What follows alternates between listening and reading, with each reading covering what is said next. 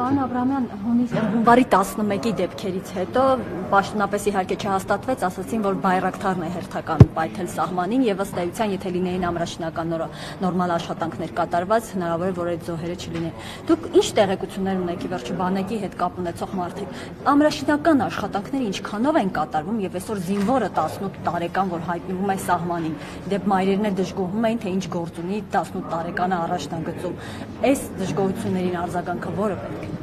Տեսեք, մեր խնդիրը այն չէ, որ 10, 19 կամ 20 տարեկան զինծառայողը սահմանին է։ Խնդիրը այն է, որ յուրաքանչյուր մարդ, լինի պարտադիր ժամկետային ծառայող, լինի պայմանագրային զինծառայող, պետք է ունենա մարտունակության համապատասխան մակարդակ,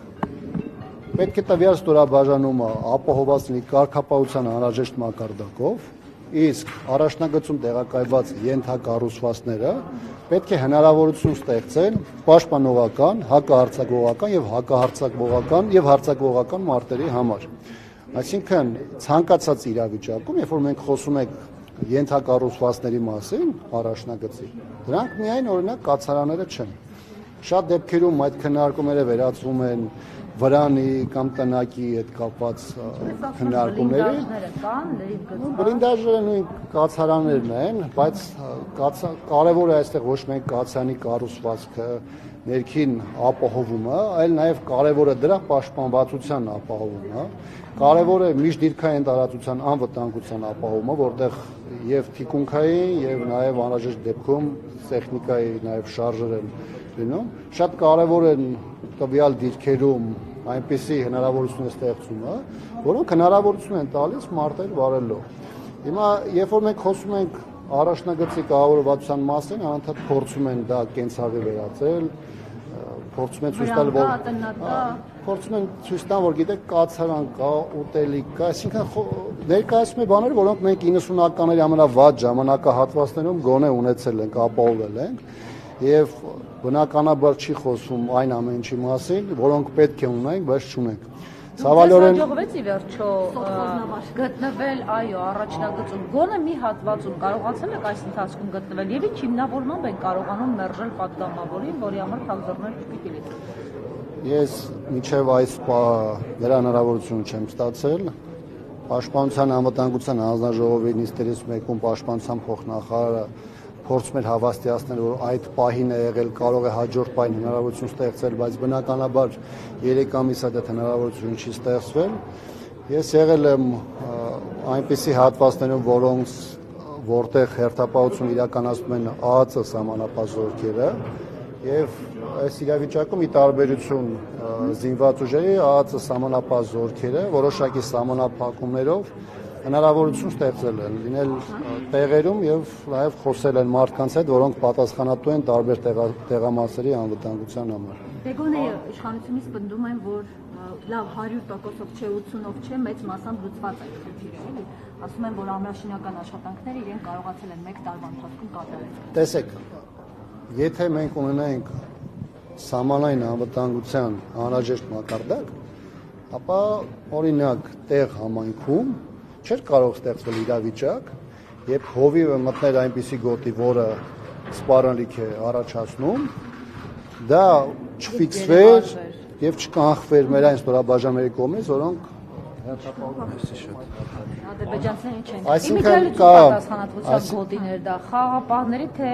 հայկական զինուժի, որ 400 ոչխարով տեղ վերջին այո, այո, վերջին դեպքի մասին եք դուք Ռուս ռուս խաղապաները ունեն առանձին տեղամասեր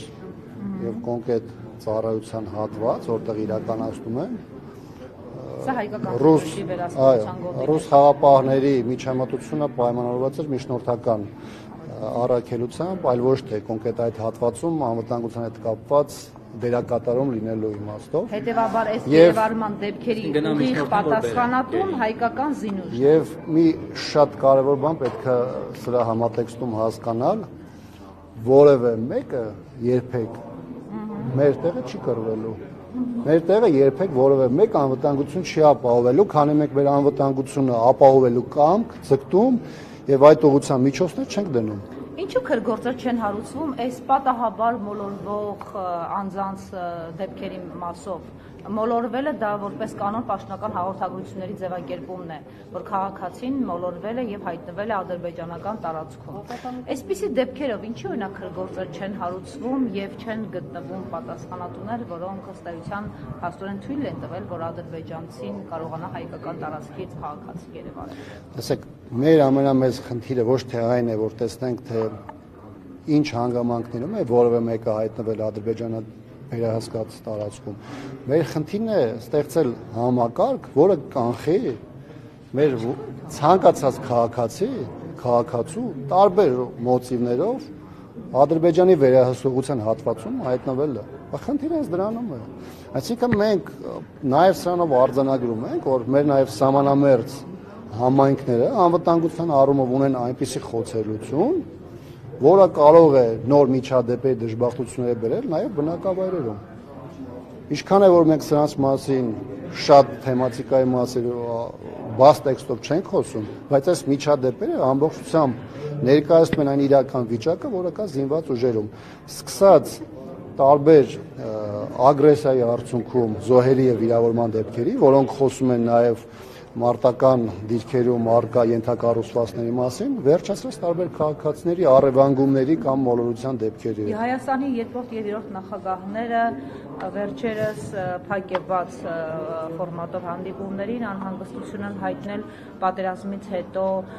բանակի չվերազինելու, չվերակենթանացնելու մասին եւ ասում են, որ նորմալ չէ եւ բանակը պիտի նոր հայեցակարգով առաջադրվի։ Ինչ կասեք այս մասով։ Դուք քանիցս հանձնաժողովում այդ հարցը բարձրացրել եք եւ ինչ որ խառը բառամթերքով պատասխանել եք սա։ Տեսեք, Պաշտպանության նախարարները, որոնց անունները արդեն դժվար է հիշում, որտեղ այնքան արագ են փոփոխվում, ամենատարբեր ժամանակներում յուրաքանչյուրը հայտարարել է, որ գնում են զինված ուժերի բարեփոխումների հայցակարգի նոր ընդունմանը։ Դրա մասին խոսել է հետ պատերազմյան իրավիճակում բոլոր նախարարները, նաև այսօրվա գործող պաշտպանության նախարարը, ըստ տրամաբանության դեռևս 6 ամիս առաջ պետք է լիներ հայեցակարգ, որը շուրջ պետք է լիներ նաև քննարկում, հասկանանք թե երկիրը առասարակ որ ուղղությամբ է գնում, բայց միջև հիմա այդ հայեցակարգը նույնիսկ խորհրդարան չի ասել, չի ասել խորհրդարանի պաշտպանության եւ անվտանգության հանձնաժողով,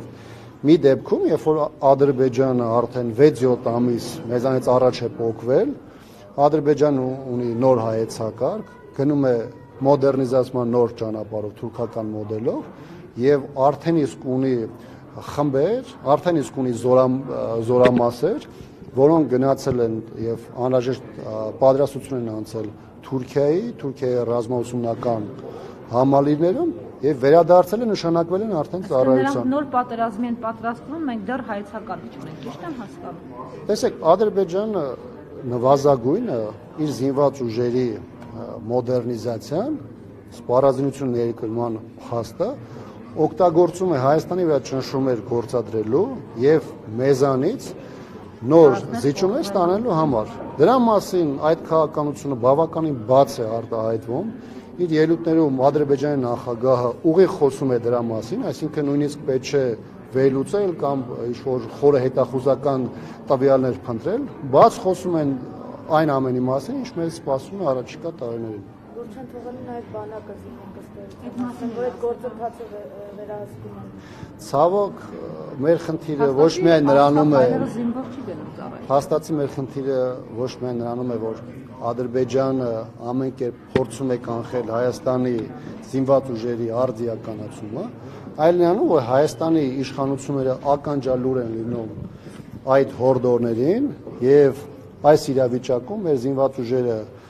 շարունակում է գտնվել այնպիսի վիճակում, որը չի բավարարում Հայաստանի Հանրապետության քաղաքացիներին։ Պաշտպանության բանակի ճակատագիրի վերջո գոնե հիմա մշուշոտ է, որոշակիորեն հասկացվում է, ինչ է լինելու իր։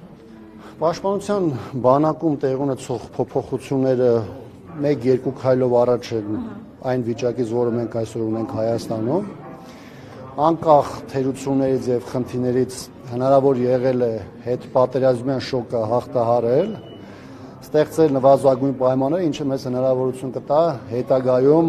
անցնել վերափոխումների նոր գործընթաց։ այսօր բավականին ակտիվ գործընթաց գնում է Արցախում, տեղում ինքնակազմակերպելու նաև առումով մեծ թվով քաղաքացիներ առանց պետության հորդորների, առանց պաշտպանական գերատեսչության հորդորների մտնում են ծառայության այնպիսի ստորաբաժանումներում, այնպիսի կառույցներում, որոնք ապահովում են Արցախի անվտանգությունը։ Բայց կրկնում եմ, սա առաջին փուլի համար բավարար է, անկախ իր խնդիրներից, բայց դա պետք է շարունակվի 2-3 փուլով եւ իրական ռեֆորմերի միջոցով փորձ արվի ստեղծել այնպիսի առողջ մարմին, որը հնարավորություն կունենա անկախ Հայաստանի մոտեցումներից ապահովելու Արցախում ապրող մեր հայրենակիցների անվտանգությունը։ Միանշանակ առանց պաշտպանության բանակի անվտանգություն թեկուզ խաղապանների ներկայությամբ երաշխավորել հնարավոր չէ։ Ոչ, այսօր անվտանգության ապահովումը երկայնչյան է Արցախում, իմ ասով ապահովում են ռուս խաղապանները, մյուս կողմից իրականացնում է պաշտպանության բանակը եւ ուժային այն կառույցները, որոնք ունեն ներքին եւ արտաքին անվտանգության ապահովման գործառույթներ, բայց առանց պաշտպանության բանակի գոյության Արցախի հայկականությունը որևէ ձևով երաշխավորված չէ։ Հայաստանում ռազմական ուժը որքանով է բավարա բանակի ռեֆորմների եւ զինտեխնիկայի արդիականացման համար։ Տեսեք, եթե նույնիսկ բյուջեն լիներ պայմանական եմ ասում 2017 թվականի 18 թվականի բյուջե բայց մարդիկ ովքեր այսպես ասեմ մշակում եւ իրականացնում են զինված ուժերի բարեփոխումները զինված ուժերի մարտունակության բարձրացման ուղղված միջոցառումները եթե լինեն նորմալ մարդիկ ապա նույնիսկ 17 թվականի բյուջեով կարելի էր ստեղծել համակարգ որը նվազագույն խնդիրները Հայաստանի Հանրապետության եւ Արցախի Հանրապետության կարող էր ապահովել։ Այսինքն այստեղ միայն բյուջեի, բյուջեում դրված փողերի խնդիրը չէ։ Այստեղ խնդիրը այն է, որ երկիրը ղեկավարեն մարդիկ, որոնք նպատակային ձևով զինված ուժերը տանում են կազմալուսման եւ ռազմաքաղաքական իշխանությունում վերևում բուրգում ներկայացված են անձինք, որոնք նույնիսկ եթե ցանկություններ ունենան, ի վիճակի չեն Հայաստանը դուրս բերել այս վիճակից։